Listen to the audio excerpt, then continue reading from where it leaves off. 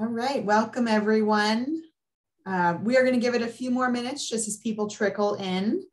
Uh, so give us um, just a few minutes. But in the meantime, we'd love for you to let us know where you're coming from in the chat box.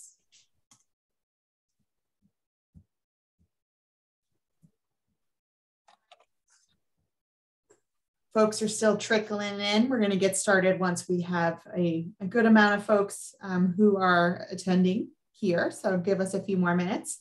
In the meantime, we'd love to know where you're coming from. Let us know in the chat box. I see we got someone from Tennessee, Boulder, Colorado, Manitou Springs, Colorado. I've never even heard of that. Honolulu, Hawaii. That sounds nice. Yeah, yeah. Some California folks. got a good uh, a good uh, uh, Susan DiMaggio. Joe DiMaggio was my favorite baseball player when I was a kid. So that name is familiar to me. All right. I do think we've got most folks here. So we are going to go ahead and get started. Welcome everyone to today's quarterly GR update with our special guest, former IRS Commissioner Charles Rossotti. Uh, please note that this Zoom webinar is being recorded um, and we will post it to the YouTube uh, later um, at a later date. My name is Erin Moser. I'm the Director of Education at NAEA and I will be your technology webinar moderator. Uh, so what does that mean? That just means that if you have any questions about Zoom or the Q&A or anything uh, of that sort, you can go ahead and type to me in the chat box. Um, we will have a Q&A session uh, later in the webinar. To ask questions of our speakers, we ask you to use the Q&A feature found on your Zoom client. Uh, we won't be taking questions from the chat box for this webinar, so please, we encourage you if you have any questions to use that Q&A feature. Uh, if you have any questions again about technology or NAEA, those we, we encourage you to, to type in the chat box as I will be monitoring that throughout the webinar. Um, and just as a reminder, you guys are already pros at it. I can see that if you are making a comment to the whole group in the webinar, to make sure that you are choosing everyone in that chat box. If you just want to message the hosts and panelists, you can select host and panelists, and that will direct your question directly over to me. Uh, so without further ado, I'm going to pass it off to Michelle McCaughey from NAEA. Thank you, Erin. Good afternoon and welcome everyone. Um, I'm Michelle McCaughey. I'm NAEA's Senior Manager of Government Relations. And before we begin today's program, I have a news flash for you. Uh, for those of you who've been following our Minnesota Statute 332B saga over debt settlement uh, services provider regulations, the Minnesota Senate yesterday, by a vote of 64 to zero, passed our legislation to exclude enrolled agents and enrolled agent firms from the statutes of very restrictive regulations. So we are absolutely thrilled with this. Um, with the Senate vote, this nearly two year long effort to amend statute 332B is one step closer to becoming law. The Minnesota House is expected to vote on Friday or possibly Monday, and then on to Governor Walz to sign it into law. So we're keeping fingers crossed for these last two steps. Now, on with our program. Um, our GR update topic today is putting service back into the Internal Revenue Service, which comes on the heels of NAEA's new white paper on IRS reform issued last week.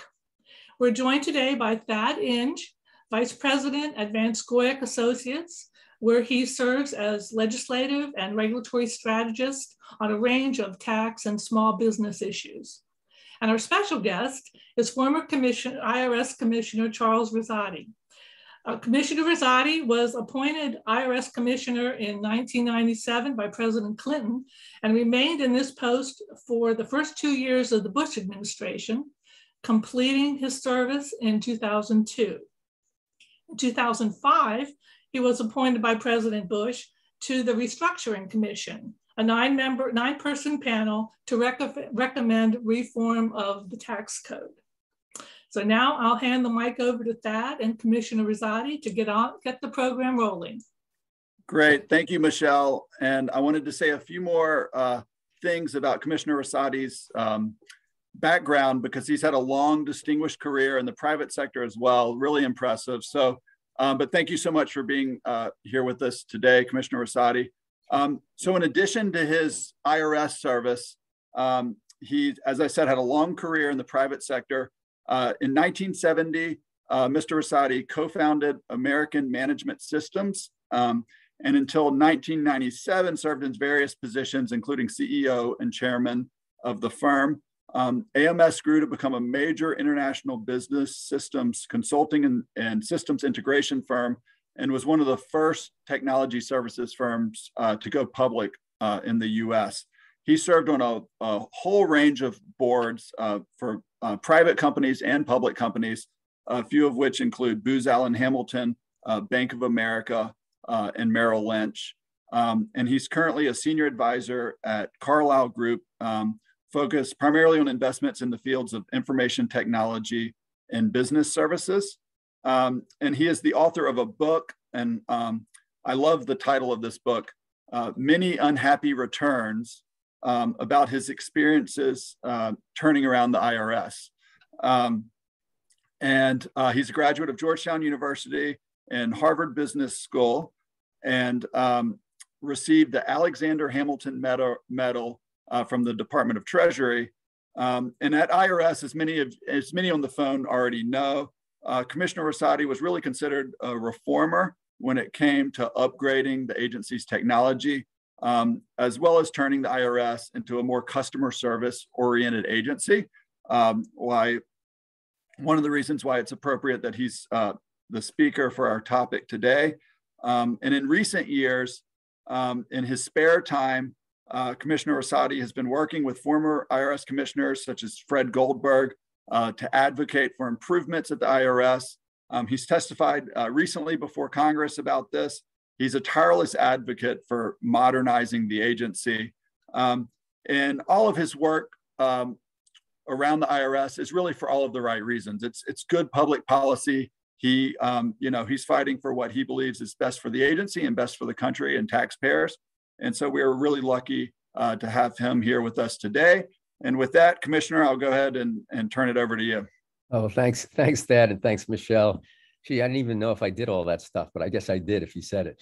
Uh, it just means I'm old. I've been around a long time, but I appreciate the invitation to speak. And, you know, I spoke to members of this group enrolled agents, you know, many times when I was commissioner. But when I left the government almost 20 years ago, I never thought I'd be meeting or talking to you, to you again, unless I needed one of your members to help me with an audit. Because as you know, I'm not a tax guy, so I need help with audits if I ever have one. But um, I went back to my business activities very happily, and I didn't think I'd be involved anymore with tax administration. So what happened is that you know, a couple of years ago, as tax talk became prominent during the presidential campaigns, it sort of encouraged me to take a look at uh, back again at the, what was happening to the tax system and especially at the IRS, because uh, I really had not been engaged at all for over 10 years at that point. And then I started looking and looking, and frankly, I was shocked at how bad things had gotten with the IRS and the tax system. And I have to tell you, uh, if you're a former IRS commissioner, it takes a lot of IRS problems to create shock about the IRS because they come every day. Um, and of course, I know that probably everybody on this call, you know, sees these problems every day in a very tangible way. But what I was looking at is the cumulative effect of the deterioration that had occurred over a period of time. And that's really what created the shock. Um, as I say, you all see this every day in specific ways that you try to interact with the IRS. And I say try because you may not be very successful given given what's happening. And I could recite some of the obvious I know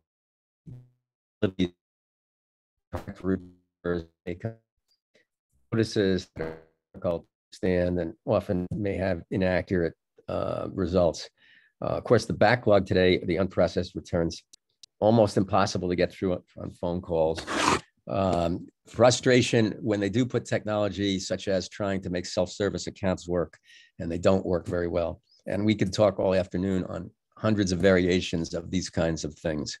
Um, and I have to tell you that um, former commissioners are not exempt from these issues because just myself, I recently got a uh, was assessed a penalty uh, was at least given a notice of an assessment of penalty for failure to make a quarterly payment, which of course I had actually paid, but the IRS had not recorded it. So it happens to everybody. If you go up a level uh, from these kind of daily and very frustrating problems, uh, the deterioration in the effectiveness of the IRS and some of its basic compliance missions uh, is also very, very worrisome. And that results in what we now know is a tax gap that is so large, it's hard to, it's hard to imagine the numbers. Uh, $600 billion per year and growing. Most people really can't grasp what that kind of, I've said that the number that, you know, if I say that you uh, lost $600, you'd, you'd pretty well know what that meant to you. But 600 billion, what does it mean? You have to think of different ways to explain it. I mean, one example is that that's more, that loss is more than all of the income taxes collectively that are paid by 135 million individual taxpayers, almost 90% of the whole taxpayer base. And when I tell people something like that, who are mostly, of course, honest taxpayers, it means that their taxes were just blanked out by a minority of people who, who don't or won't pay. Uh, and that's that's a bad thing for everybody and I have to say, the pandemic is part of this. It, it, it definitely made things and illustrated how how much things have, have, gotten bad. But but I was looking at this even before the pandemic, so the pandemic just brought it out. Um, I want to detour for a second and, and mention one thing uh, because about IRS employees.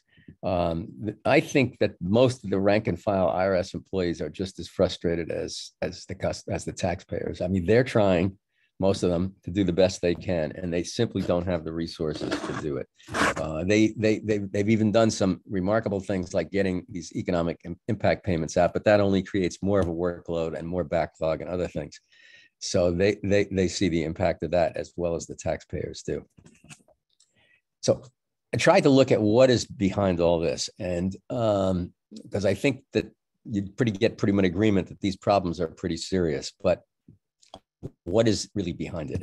And I think the most important thing that is behind it, uh, not the only thing, but the most important thing is a long term failure uh, to invest in the IRS, uh, to provide resources and direction and, and, uh, and guidance to, uh, to, to modernize and update and, and, and keep up the resources of the IRS compounded with an ever increasing amount of responsibility that's being laid onto the IRS by the Congress. So it creates a gap, an enormous gap between the capacity of the agency and what it's supposed to do. And with respect to budgets, people talk a lot. Well, there's been budget cuts, you know, in, in the last 10 years, 2010. Honestly, it's much, much deeper than that. I went back to 1993 is quite a while ago, uh, and compared the IRS budget and its resources to what the economy is today, what the tax system is today. And the IRS resources today are less than half in proportion to the economy of what they were in 1993. And in the meantime, the number of returns, of course, has increased. Individuals in returns by 38%, business returns by 84%. Those are just returns. But even that doesn't get to the to the problem because it doesn't talk about the really substantial increase in responsibilities that have been assigned to the IRS by Congress to administer a whole range of programs. I mean, there was the Affordable Care Act in 2010, all these economic impact programs in 20 and 21. Uh, and that's on top of an ever growing list of tax credits or tax breaks that Congress keeps giving the IRS to administer. And if you look at the Joint Committee on Taxation, they've got a list 129 tax credits for businesses and 179 tax credits for individuals. Every one of those provisions takes with it a whole lot of work to do regulations and administration and everything else. So let me give you a number that I found totally startling, and I think probably you will too. And that is that in 2021, last year, last fiscal year, the IRS sent out sent out to people more cash in the form of benefits and refunds than the Social Security Administration sent out in benefits. And the IRS budget was actually less than the Social Security Administration budget. That's before you get to actually doing any tax administration. I mean, the IRS processed 263 million returns from individuals, businesses, tax exempt organizations, you name it. So that's what I call a gap. That's a structural gap. That's not a short term budget cut. That's a total mismatch. All right, what's the solution? I will say that your white paper has a good outline of the solutions, but just to, just to summarize it, um, I want to say, first of all, there are some immediate steps that the IRS is taking and needs to take just to clear up the backlog. And those are the first priority, of course. But that's even if they do that, uh, that that's that's just uh, filling a, a short-term hole. Uh, it's really the long term and, and that needs to be addressed. And I think that that requires three things from Congress. Uh, one is some form of long-term funding uh, not a quick in, impact of you know one one year, but something that is steady over a long period of time, which was proposed by the administration as part of their reconciliation bill, and that may be a form to do it. Uh, but in one form or another, it has to be a sustained long-term program. Uh, they also need to have some authority to rebuild the workforce, because that is a significant problem. Uh, the workforce has deteriorated uh, both size and, and capacity. Uh, 30% of the skilled workforce has been lost just in the last 10 years. And in recent times, when they've tried to do short term hiring, it's really been very, very lacking in success given the ma- labor market. So they need a long term program, flexible capacity to hire qualified people. And it do very well. It takes years uh, to train people, especially in the more complex parts of, uh, of uh, administering the tax code. And then the other reason for the long-term commitment has to do with technology. Uh, there is no way that the IRS can succeed just doing this the way it has. I'm sure you all know that. Even if it had more resources, just doing more is going to uh, not not be effective. It'd be too inefficient. It has to use what all big organizations use, uh, which is more use of data and more use of technology to make both their activities uh, more efficient and to make it better service for taxpayers. Uh, that, that's another place that it's shocking how how poor or how, how low the level of investment in technology has been. I did a comparison for the last um, seven, several years um, of the IRS budget, the whole budget for technology compared to just some large banks. I used to be on one large bank board. I know, I know what they spend. The IRS budget for technology is less than a quarter of what each of those large banks spend on technology every year. Uh, just one bank uh, this year, the, JP Morgan announced they were going to spend $12 billion on technology. That's equal to the whole IRS budget. Uh, the, the, the, level of investment in IRS technology is, is, it would be funny if, if it weren't so serious. And that can make a big difference pretty quickly, actually, and in things that I know you're concerned about, and how the taxpayers interact with practitioners and taxpayers. For example, make it one obvious one, make it easier to communicate electronically with with with practitioners certainly, and also in some cases taxpayers to allow more self-service activities. Uh, the IRS has programs to do that, but they've been been underfunded and undermanaged, honestly. Uh, it can also be very effective in the compliance side by making audits more efficient and uh, better targeted. So there's, for example, not so many no change audits. I mean, the, as few audits as there are, many of them aren't directed well. Um, and I, lastly, I would say, as you noted in your white paper, if the Congress does provide funding, uh, it needs to provide some clear goals on both service and compliance, because uh, any any commitment on the part of the Congress needs to be matched with a commitment on the part of the agency to actually use those funds uh, to, to, to, make progress on both service and compliance. And finally, I'll put in a plug for your white paper because I did read it and uh, I think it's good. It's really good. Um, I mean, uh, I don't know whether I would agree to every single sentence, but on the themes and the major, major points, if Congress would listen, it would be a great step forward. Okay, I'll be glad to take some questions. Great. Thank you, Commissioner. That was great.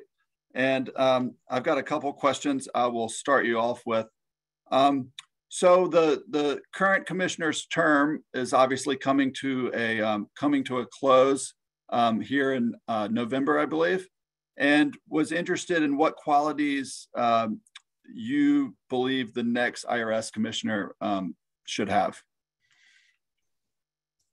I think that the that the most important quality for a commissioner in the IRS um, really has to do with uh, demonstrated experience and perhaps some level of success in leadership and management. And those are two related things, but not exactly the same. Um, and I think close behind that, some experience in in, in some public, either public uh, facing activity, because there is a lot of public uh, activities. I testified 48 times in Congress. So whether that's in government or some other place where you have to deal with uh, communication of that sort, uh, those those are the most important things. And you might say, well, what about tax? Um, honestly, you know, you, you know the the IRS has has 1,600 lawyers who are ex, experts in tax in every possible code section. The Treasury has people. Um, obviously, anyone that would take a, an office has to have some level of exposure to tax. But I think that um, you know the, the the the real the real role of the IRS commissioner is to lead the agency and to direct the resources in the right way. And it can rely anyone that's there even if you were a tax expert, would only be a tax expert in some section. You would have to rely on people for the most part to do that. Um, so that's that's my feeling, um, and I think that um, uh, uh,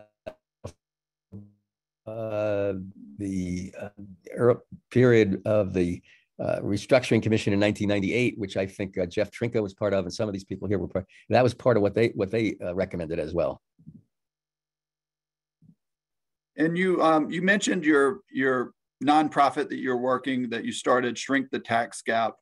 Um, can you tell us a little more about how that came about? I know you're working with former some former commissioners and sort of um, how you guys put that sort of um, put that in place and started working, uh, brought that about. Sure. So as I said in in in, in just what I remember remarks now, um, I was really not involved in any way in anything about taxes, you know, for almost 15 years, I started to look at what was happening, as I said, you know, around the time of the presidential campaigns and all that. And I just became very uh, surprised. And so I started, eventually, I wrote an article in Tax Notes. You know, that was what I did. And uh, I was surprised that it got a lot of interest. It had some recommendations about how to modernize the IRS. Um, and so that led to different people like Fred Goldberg and some of my other colleagues like Fred Forman, who was a former associate commissioner, and and just a sort of an informal group of people that kind of got on the train um, of uh, recommending that you know the IRS be supported for a long-term program, modernize, improve technology, figure out how to how to do a better job. And the administration, when they came in, picked up some of those themes. And uh, some people that we had talked to uh, on the outside came into the Treasury, and uh, so that's kind of then we just basically set. We finally said we were talking to a lot of people informally. We just finally just set up a website and gave it a name. That's about it. But yes, then from there, I was asked to testify a couple times. And, you know, you can now go on the site if you want to, shrinkthetaxgap.com. And there's a whole lot of material on there about uh, what we've recommended, other people have recommended, you know, different news articles. There's dozens of articles that have been written. And uh, we're hoping that what it'll end up with is something that uh, Congress does to, as I say, provide some funding and clear direction and modernize the workforce, modernize the technology, and um, move on to what the agency really needs to serve the public. And as um, IRS has gone through some of these problems, especially when you look at, at some of the stuff that's come out of Congress, the taxpayer advocate role has been pretty prominent. Um, you know, um, she will often, uh, the current taxpayer advocate, Lisa Collins, has testified several times and sort of made recommendations and, and always makes big headlines. And then I know there's sort of the, the, the staff that works on individual problems on behalf of taxpayers. How do you, um, how do you view that office? Is it, is it when, you know, when you're an IRS commissioner, is it sort of a thorn in your side? Or can it be constructive? And um, do well, you think it helps push? Yeah, I mean, I, I, was actually there. I mean, there was a, there was a sort of a nascent taxpayer advocate uh, group in some of the districts when I got there, but as part of the restructuring act, they they actually uh, made it a much more a significant organization and more in the form as it is today. And I would I actually was the one that appointed Nina Olson, who was the preceder to this taxpayer advocate who was there for 20 years, and she's still a good friend of mine. Um, yes, they're a thorn, uh, but they're supposed to be. But it's a constructive thorn uh, because they really do. Uh, I think if you look at that annual report to Congress, they lay it out in chapter and verse, and uh, not everything that they can recommend is is doable quickly. And of course, some of the problems are really uh, possible to solve without more budget resources and staff resources.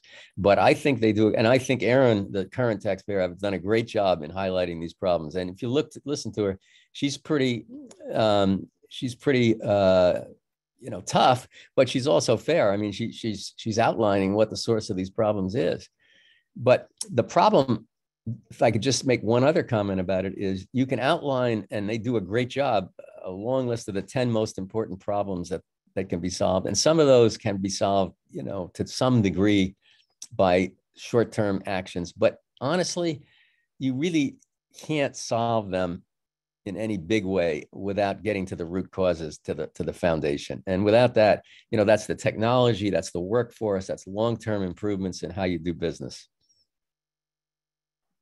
absolutely and i know i know you talked about funding and management and workforce and one of the one of the fears out there is well you can throw a lot of money at this at, at these problems but it doesn't necessarily fix them um, but i at the same time i think you probably can't fix them without money well, um, both of those statements are true.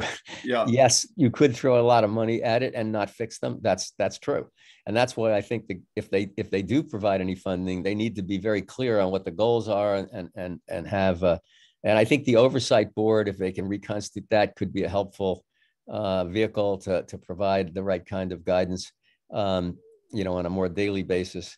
Um, but um, but at the same time, I mean, what is clear is that what has been done over the last 25 years, which is to say, oh well, we'll just cut it a little bit every year; it won't make any difference.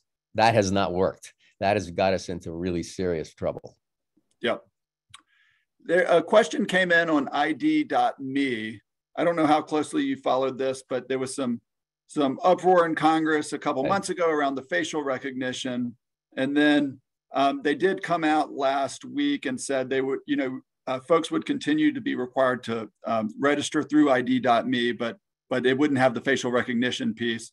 Um, and some folks have said, you know, their their privacy concerns or whatever. I don't know if you have any any thoughts on. Yeah, on well, that. I don't want to get into specifics because I obviously don't have the data to do that. But um, I think that in a broader sense, um, this is an example of an attempt to do something that is very important and, and very useful, but not thinking it through, you know, as carefully as that needs to be.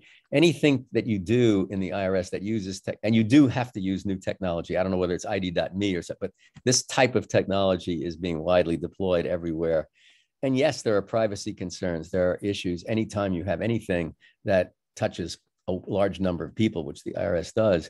So it means that you have to have a cross-agency process that is very carefully carefully managed and often done in small steps, you know, rather than one big step, just check it out and things like that. And for whatever reason, it appears that, you know, that was not done, but we cannot at the same time draw the conclusion that therefore, you know, throw up our hands we're never going to use new technology. We just have to do it more carefully and you know in in in, in increments that that can be checked and tested before you uh, before you try to spread it too big too widely. Yep. We had a question come in from david tolleth who's the chairman of the, the board at naea he said why would anyone take on the position of irs commissioner without adequate support from the outside congress and the tax industry community it seems like an impossible task to make a difference in IRS performance? Uh, that's a good question. I mean, my I don't know why I took it. I mean, I, at the time you might not remember, but the IRS was, you know, under serious attack at the time I did. I think there are people who will, you know, I, I often said I, I took it on because I did, people said, is it a suicide mission? I said, no, I don't go to take suicide mission. I think it was very challenging. You couldn't be sure of success. But if there was enough, if you thought you had enough level of commitment from uh, uh, the, the administration and other constituents um, that you were willing to take a risk I think there are a lot of public, maybe not a lot, a lot, but there are enough public spirited people in today's world or any world uh, that they would take that on. I mean, people do take on challenging assignments. I do agree with um, the speaker. I'm sorry, I forgot the name, but um, the questioner that you do. At least when I was there, I did do my due diligence before I took the job to see if I had some level of commitment um, in the key places, and I concluded that it was maybe not perfect, but but at least enough to get started. And you know, remember, we did they did pass the the Restructuring and Reform Act, and they did provide some authorities, and, and that was very helpful. I will say, even then, we never did get the funding that we needed. I'd be interested in your on your your view of the relationship between IRS and Treasury from a from an advocacy standpoint. It's always interesting because you have lots of political appointees at Treasury folks that sort of you know change out with each administration and and and sort of have uh, their agenda or things they want to accomplish. And then IRS tends to you know has very for for obvious reasons that they put in place has very few political appoint, appointees, right. only you know two I think. Um, but I know that you know technically Treasury is under IRS, but IRS has a, a level of independence and I'd, I'd, just be curious of that interaction in terms of yeah. having to answer to Treasury or them setting direction for for yeah. the IRS.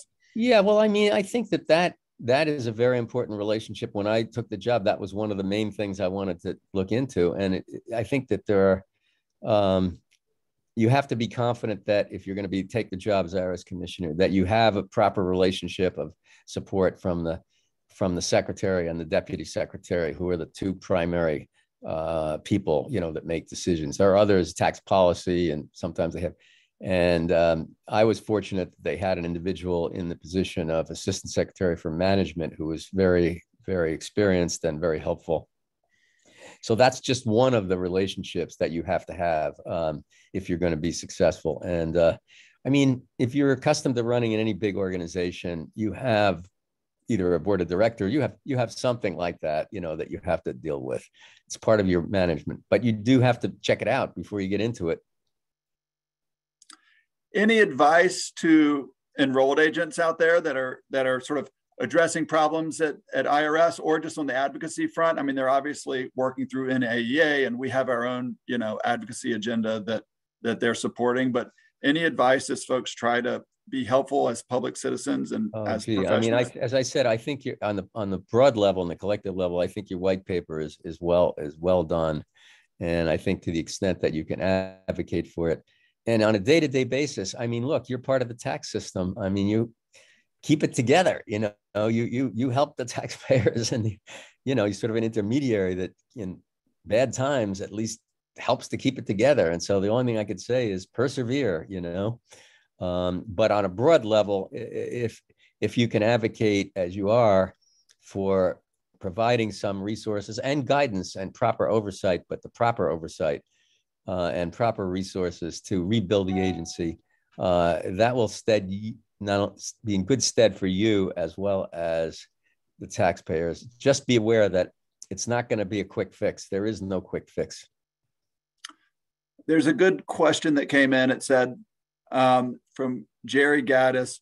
Would it be possible to speak to IRS technology? There are so many stories about how old and inefficient it is um, that the service is looking for COBOL and Pascal programmers. Is, the, is any of this remotely true? Yes, it's true. Um, it's absolutely true. But let me let me be careful because I want to, a very very important point about IRS, which is something that I've written my and my colleagues in Shrink the Tax Gap have written a, a whole book about, uh, not a book, but a long article about how you can do this technology. If the IRS tax accounting systems uh, that do the basic processing of tax returns, you know, have were started in the 1960s and have been updated every year since, and they are very old and very fragile technology.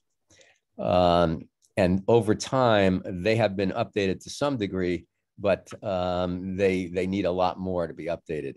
But what is an incorrect conclusion is to draw from that the idea that you have to wait until you replace all that technology until you can make any improvements using new technology because that's not true. Every organization has old technology. I mean, every large organization that I've ever been involved with has an, an, installed base of old technologies, maybe not as old as the IRS. And it takes years to replace that, and it takes a lot of money. But in the meantime, I mean, think about it. If everybody in, in a bank or everybody in a retail organization had to replace all their accounting systems before they set up a good website, you know, we wouldn't have very many websites. Um, you know, we wouldn't be doing business over the internet. And so you can do both at the same time if you have the resources. It has to be managed carefully. But the IRS has already done, you know, done done some things. I mean, and, and you know, we know about them. I mean, it does electronic filing, for example, is if you didn't have electronic filing, we'd be really in trouble. You do have websites that, although they're not as good as they they can be, they have a lot of information on them. And to some degree, you can check things like refunds. They are sort of at the process of getting self-service accounts all of these kinds of things can be done at the same time. So you have to think of it as two paths. One path is you're gradually replacing this old technology, and the other path is you're providing new services using new technology to, to your existing customers. And that's what creates the management challenge. But every organization has it to some degree. It's not unique to the IRS. The only thing that's unique about the IRS is how is how how how big and how bad let's say, or how old the, the, the, the core technology is. But, um, but that problem is not unique to the IRS. Yep. And you talk about electronic filing. That's obviously, you know, expanded a lot the last decade or two, and and and they're doing pretty well in some parts. But then there are other things like an amended return, like you want to yeah. file an amended 941, yeah. it has to be yeah. on paper. I know which yeah. folks uh, yeah. felt the well, pain. I mean, that's that's an example. I mean, you have you, you got you got all the way. Well, the other thing about it is the backlog of paper returns. People have been talking about for paper returns that are print that are filed. Uh, I'm sorry, prepared on a computer. You know, you're never going to get 100% of all returns filed electronic. There's always going to be some issue. I mean, I know myself tried to file. There's one year I couldn't file because it was some odd. But you know, in the meantime, what you can do is you have this thing where you can print a barcode on, on the paper and a return and scan it in. It's, it's, it's not as good as electronic, but it's 10 times better than sending in a paper. So there's, there's things that can be done if you're if you manage it effectively and you have resources. But I can tell you that every one of those things that you could do is without resources. And I, I even 20 years ago, I had a hundred things that I could have done like that that I just couldn't do because I didn't have the budget to do it. So it's not only about budget, but but without the budget, you, you just can't do it. Yep, yep. Well, I, there was a TIGTA report that came out. I think it was earlier this week that talked about the need for sort of universal electronic filing or making it universally available. And um, it said that, uh, and the, the IRS, that was one of the recommendations the IRS agreed with and said they're working on, but they said they didn't have a good handle on, on some of the, on where it wasn't offered or they weren't aware of all the things where it wasn't offered, which I know raised some eyebrows that um, yeah. they um, yeah. So we had a um, sort of a question comment come in from Richard Ogg um, about the examples you gave around funding dating back to the early 1990s, sort of the yeah. um, mm-hmm. funding problems. He said, "Can we get a copy of that, or is it on the shrink?" It's, it's all on the website. website. Everything, everything I said is on the website. You can you can go in chapter and verse and just go into i mean as a matter of fact there's um, uh, a whole set of exhibits i think there's 17 different exhibits. If you look go into the section of the website that's exhibits it's got spreadsheets that show all these numbers. Uh, i don't know which exhibit that was in but you can find it easily. Uh, there's also a news archive on there that has all these different articles that we've published uh, and publications. So everything is there shrinkthetaxgap.com Great, and I see we just posted it in the um, in the chat, uh, the website. Um, well, I guess you know, as a final question, I'll say, um, not to put you on the spot on this, but are you optimistic? Are you optimistic about uh, the ability of um, of uh, you know to turn the corner on this? And I know you know with all of these political problems and government problems, the, the problem is is it does get political. You do have to go through Congress. You know, uh, things get taken out of context. Um, but you know, I think that there's also a lot of bipartisan support for you know trying to fix these problems. So, yeah. um, well, I, I uh, let me put it this way: I am optimistic that if Congress provided the funding and the authority and the correct uh, goals and you know clear guidance they can be fixed. Not quickly, but over time they can be. Uh, I, I, know they can be. I'm, I'm sure of that. What I don't know is how it's going to play out. I mean, the administration is politically and in Congress. I know the administration is still trying pretty hard, very hard actually, to get uh, along some sort of long-term funding bill through and some other authorities. I know that there are many members that I've talked to that are supportive of that. And by the way, even on the Republican side, although they, you know, it's difficult to get anything bipartisan, but in terms of support for the idea, yes. But uh, I don't know whether it's going to happen um, uh, in in this Congress or or what might happen. But if they can get something through that provides some funding, provides some authority, provides some guidance, uh, I think that um, they will be able to recruit a, a, next term commissioner when this term ends and get somebody to do it that can do it. But whether all that's going to come together, you know, it's a it's a it's a it's a lot of stuff that has to come together. Well, and as you've as you've mentioned, I think a lot of the things in the NAEA white paper really echo the the same ideas that you're pushing, and so we look forward to continuing to you know work together for these um, uh, to make progress, and and hopefully we will get some traction. But Michelle, I don't know if you wanted to say anything in closing, but um, or if, if, you had anything else to say in cl closing, Commissioner. But we really really appreciate you uh, you coming today, and this was um, really interesting. And I know folks. Uh, on the ground that are actually out there sort of dealing with these problems every day, dealing with taxpayers and the IRS appreciate it as well. Sure, I'm happy say, to do it.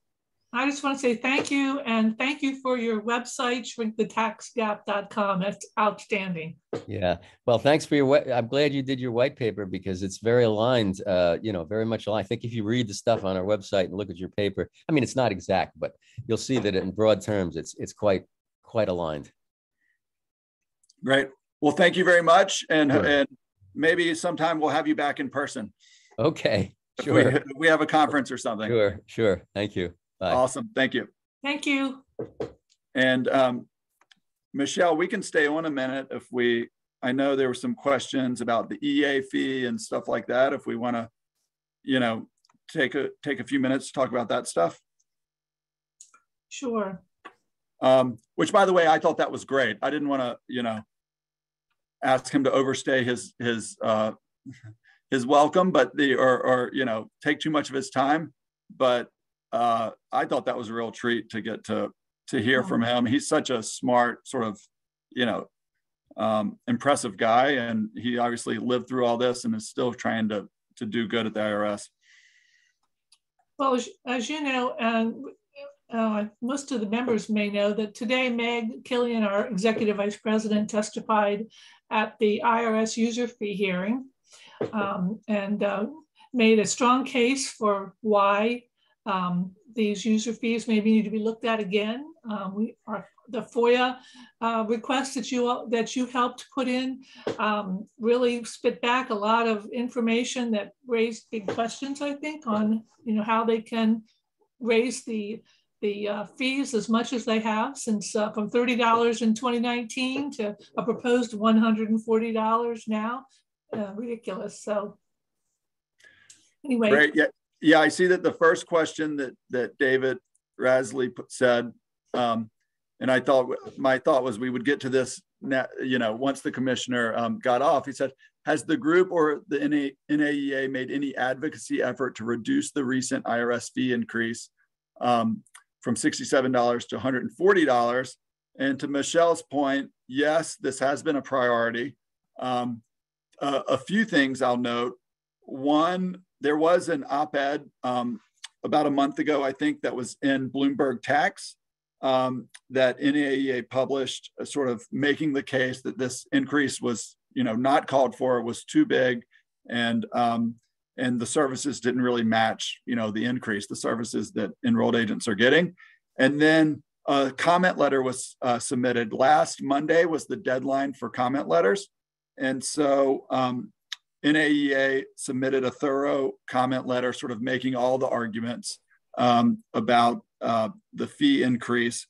And then, um, as Michelle mentioned, there was also a FOIA request where NAEA FOIA, Freedom of Information Act, requested all the documents from the IRS that went in to the calculations of making this um, making this decision, and um, and so that information was received. It was actually received after the comment letter uh, due date, um, but before the public comments today. So Meg was able to um, to uh, talk about some of those numbers that came back and and they they gave us 280 pages and only a few days to go through them, but we were able to make the case that some of the numbers didn't really um, didn't really add up. And um, and then uh, so that testimony, Meg did a great job on the testimony this morning um, before the IRS. Um, one of the arguments that we made, and we were actually able to do a, a separate meeting with IRS and Treasury and the SBA last week that the Small Business Administration um, set up for us, is whenever there's a proposed rule, um, there's a, a, law called the Regulatory Flexibility Act, and an agency has to look at, at if the if the proposed rule has a significant impact on a substantial number of small businesses. Um, then there's this whole analysis that the agency has to go through to say, well, are there alternatives? Is this are there things we can do to make this less harmful to small businesses? Um, but uh, an agency can certify, no, this doesn't have a significant impact on a substantial number of small businesses. And so that's what the IRS did in their proposed rule. They said, these aren't small businesses, these are individuals. And so we're, um, you know, this doesn't apply. And so the case that we made um, to the SBA and then ultimately to IRS and Treasury was you can't say that an enrolled agent's not a small business. These are, um, you know, many enrolled agents employ um, either support staff or other enrolled agents. Um, many are sole proprietors, which are still small businesses. And then you have uh, firms that you know go all the way up to, to larger firms, um, but are still sort of under that small business definition. And so um, there was a case made that um, you know that, that more analysis should have been done about the impact of raising these fees on small businesses. And if you look at the actual size of the increase, it went from 30, you know, $30 to in 19, 2019, as Michelle said, to a proposed uh, $140, which is a, I think it's like a over a 460% increase um, when you look at it back to 2019. So, um, you know, NAEA has been making the case, you know, folks, we know folks at Treasury and IRS have been listening because we've been on the calls with them, whether they're actually, you know, um, going to change the rule uh, is unclear, you know, or change the fee to reduce it a little bit is unclear at this point. We, we definitely wouldn't want to get anybody's hopes up because, you know, at the at the hearing this morning, there were zero questions asked by the by the Treasury and IRS folks, uh, which wasn't super promising. Um, but the the case, a, a, strong case, has definitely been made that um, that this was, um, you know, an excessive increase and I think I saw a comment come through about the um, uh, about whether they should be charging user fees at all. Um, believe the courts determined that user fees are limited to the actual cost of administering the program. They're not to be profit centers. Yep. So that's that's a good point. And then, you know, there are circumstances where they don't even have to charge a user fee if it really benefits the public. And so we made that argument as well that we didn't have that be our sole argument because we knew that it, it hadn't gotten a lot of traction in the past. Um, but we did include that argument that that the role of EAs is not just a benefit to EAs, it's a benefit to the general public, it's a benefit to the IRS. And um, and so um, you know, really they shouldn't be charging any fee. Um, but we kind of that was one of one of many arguments because I think at the end of the day, uh, it's the size of the increase that has frustrated um, a lot of folks. It's easy for them to say, well, it's not that much money, but you know, over three years, it doesn't add up to that much. But but the reality is, is the increase is 400, you know, 460 percent or, or whatever it is, is is definitely significant.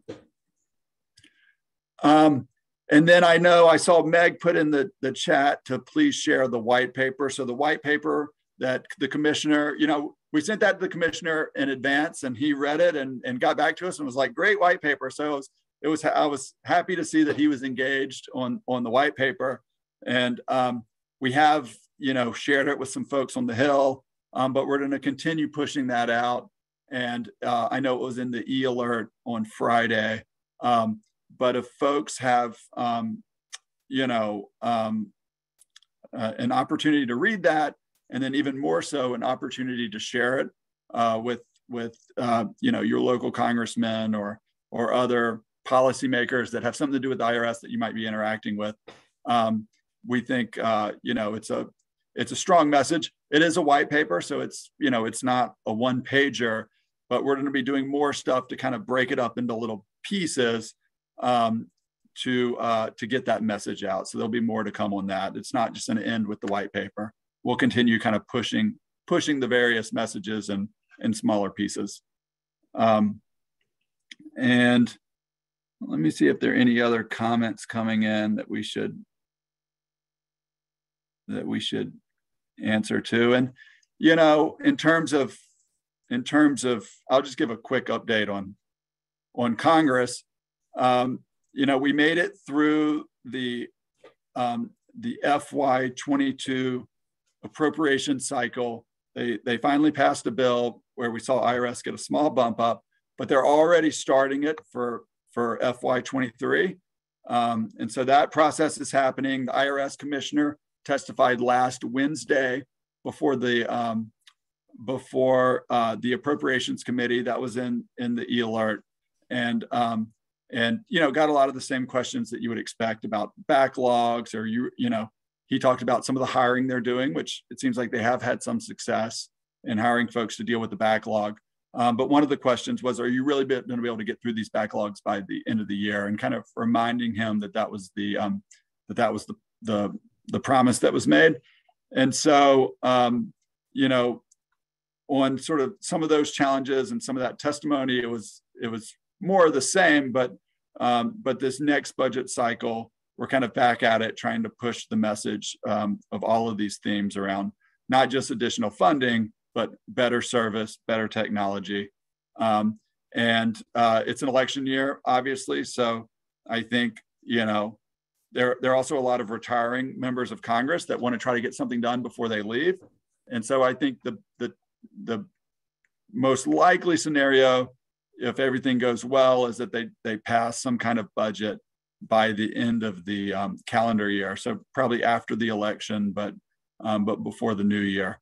Um, the the actual fiscal year starts on um, October one, but a lot of times they do these short term short term extensions, and um, and um, and then the elections is a whole nother you know can of worms that we're obviously watching closely to see how that might impact the, the committees that we work with and, and some of the policies that, that come out of Congress.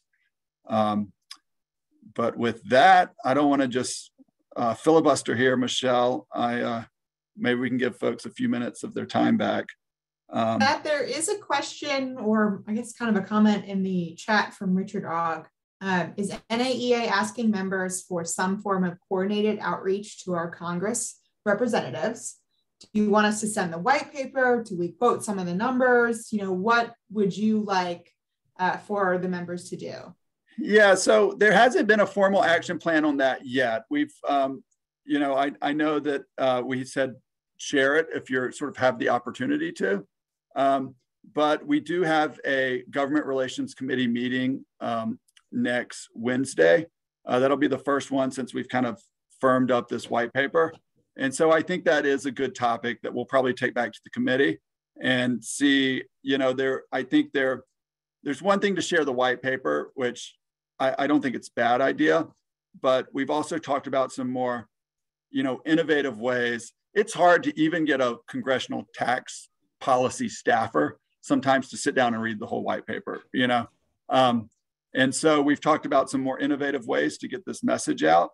Um, and so I would say, you know, if you happen to be meeting with your congressman or have the opportunity to share this, by all means share it. Um, but we will we will take this up before the government relations committee and try to think of some more innovative ways to distribute it and the message and also an action plan so folks have something a little more concrete to um, to go off of. So i appreciate appreciate that comment.